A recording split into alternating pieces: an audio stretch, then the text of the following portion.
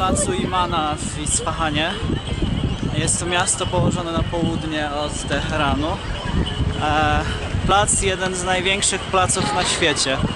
Generalnie Isfahan jest bardzo ładnym miastem, zadbanym, czystym, zupełnie innym niż Teheran. Wszystko jest tutaj poukładane, takie bardziej zachodnie. E, miasto bardzo nowoczesne.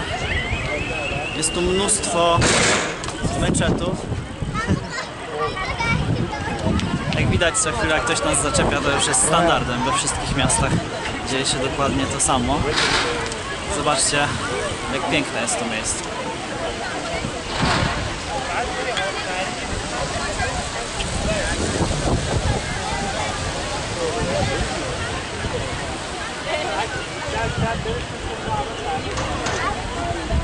Z tyłu za nami jest meczet. Obok kolejny.